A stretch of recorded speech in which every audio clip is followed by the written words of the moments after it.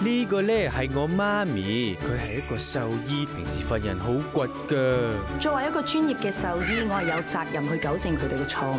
喺屋企咧就咩都管，又管食又管瞓。冇我批准唔准食噶嘛！你再系咁样，我阉咗。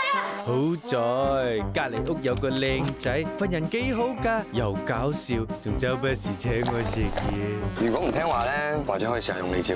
你食紧啲咩啊？我又想食啊！唔食得噶，食咗会死点解佢听得明我讲嘢嘅？清新甜宠剧《宠爱 Pet Pet》，七月三十一号晚九点半，翡翠台。